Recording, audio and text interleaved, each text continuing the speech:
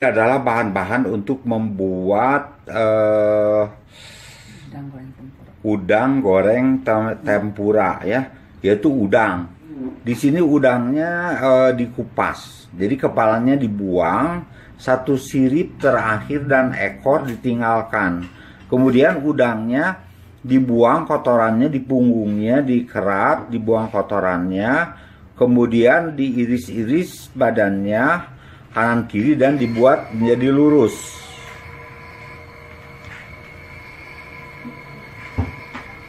Kemudian ada telur berapa butir? Telur ayam dua butir. Kemudian ada bawang putih berapa siung? Dua siung di iris-iris, bawang putih diiris-iris. Kemudian ada merica, ada baking powder ya. Ini bahan kue sebetulnya, bahan pengembang kue. Bahan pengembang kue, baking powder. Kemudian ada tepung terigu dan ada tepung beras. Kemudian ada lagi air air dingin, air kulkas. Ini bahan-bahannya ya. Udang dibikin lurus badannya. Kemudian ada telur. Ya, kemudian ada tepung beras, tepung terigu, ada baking powder, ada bubuk merica, ada bawang putih, ada tepung terigu, tepung beras, dan air kulkas. Itu bahan-bahannya. Tahap berikutnya adalah udang yang tadi udah dibikin lurus itu, di, udah dikupas, dibikin lurus, kemudian di dibumbui apa? Ada bawang putih, Bawang putih, garam, sama bawang eh, putih, garam, dan merica. Merica. Garam, merica, bawang putih secukupnya. Ini udah diaduk dengan udangnya. Nah ini sekarang mau bikin adonan tepungnya. Di sini tepung terigu berapa sendok? eh, empat. Tepung terigu 4 sendok. Kemudian Eh, tepung beras dua sendok tepung mutung. beras dua sendok mutung. 2 sendok mucung, tepung terigu 4 sendok mucung. Terus ini ditambahkan baking powder setengah ini setengah sendok teh. setengah sendok teh. Baking powder. Ini bahan untuk kue. Iya. Ini mericanya sedikit. Kemudian ditambahkan merica juga. Telur. Kemudian kocok telur dimasukkan dua butir, diaduk-aduk. Nah ini diaduk-aduk tuh ini tepung dua macam tepung beras, tepung terigu, merica, baking powder diaduk-aduk. Hmm. Terus masukin telur. Kemudian dimasukkan telur yang dikocok dulu.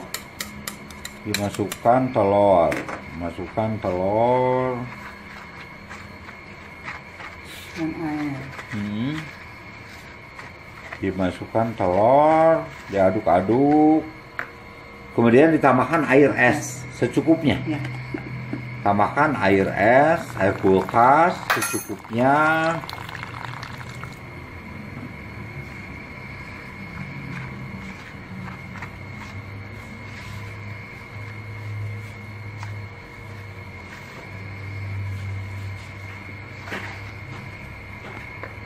Mhm. Terus dibikin adonan untuk melumuri udangnya. Jadi eh, se- kentalnya sedemikian rupa sehingga bisa dipakai untuk membungkus udangnya. Jadi kalau perlu tambah lagi air, tambah lagi air sampai pantas untuk melumuri udangnya.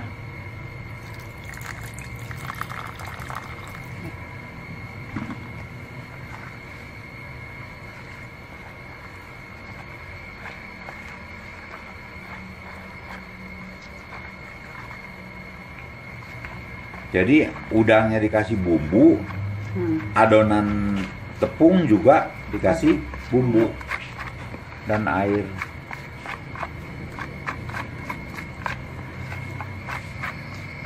Udah, jadi adonan tepung. Panaskan minyak di wajan.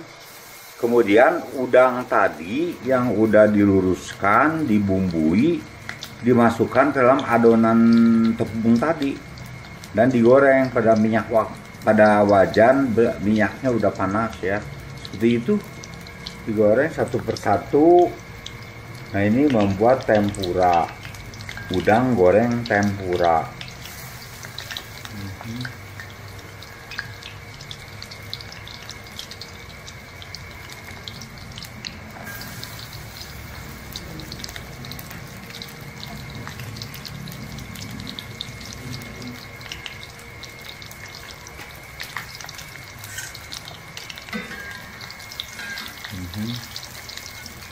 Digoreng sampai matang.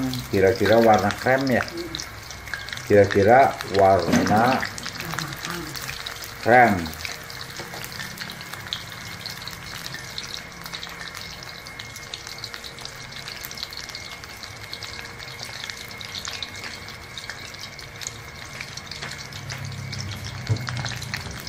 Nah seperti ini